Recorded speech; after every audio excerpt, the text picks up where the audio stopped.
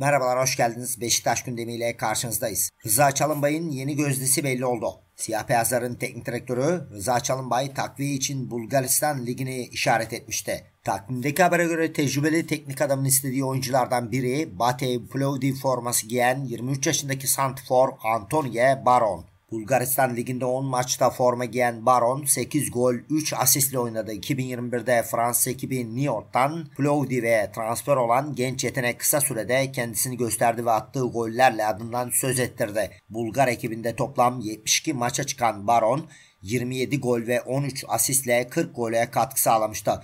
1,5 milyon euro piyasa değeri olan 23 yaşındaki Fransız golcünün kulübüyle olan mukavelesi sezon sonunda bitiyor.